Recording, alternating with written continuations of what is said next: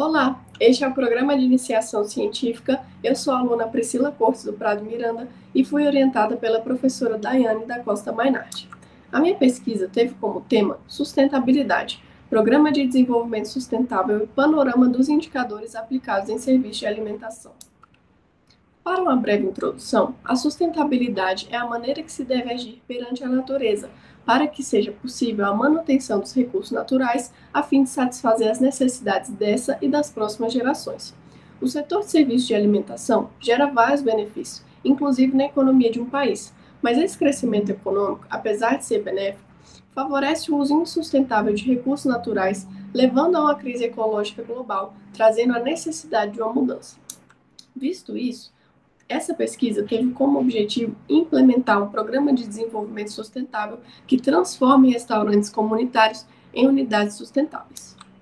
Participaram da realização do programa 12 restaurantes comunitários do Distrito Federal.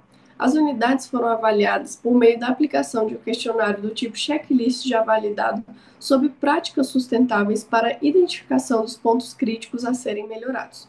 Tendo esses resultados como base, foram elaboradas e ministradas as oficinas sustentáveis. E ao final, o questionário inicial foi reaplicado com o objetivo de avaliar a eficácia do plano de intervenção, no intuito de avaliar melhorias das atividades e a percepção dos gestores para identificar se as oficinas contribuíram para gerar reflexão e mudança entre os funcionários.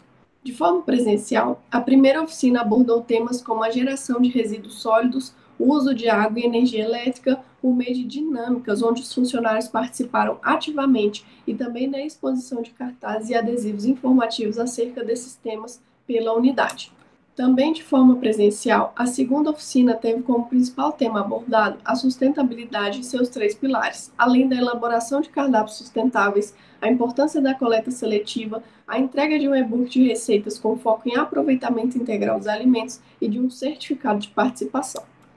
Alguns resultados mostram que a quantidade de atividades sustentáveis realizadas aumentou de maneira significativa em relação a antes e depois das oficinas ministradas.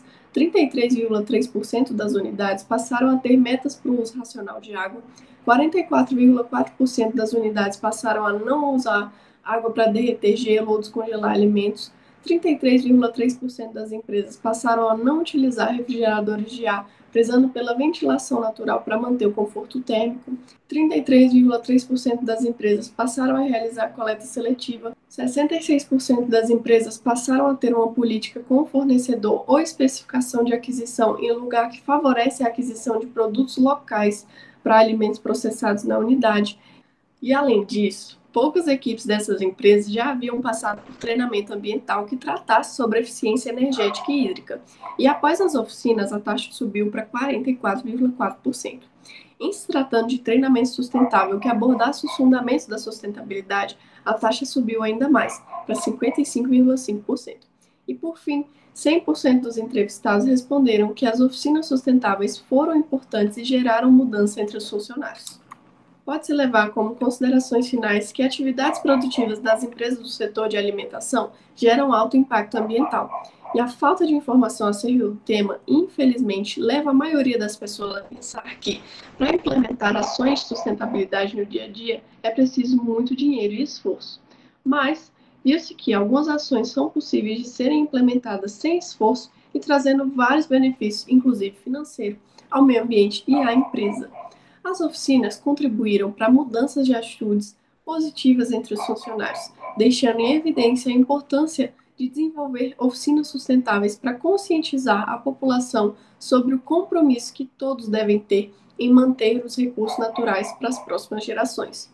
E é imprescindível que se desenvolvam mais trabalhos como este para que haja mais interesse pela educação e sustentabilidade ambiental, levando responsabilização, reflexões profundas gerando mudanças reais no estilo de vida da sociedade para garantia de um futuro melhor. Obrigada.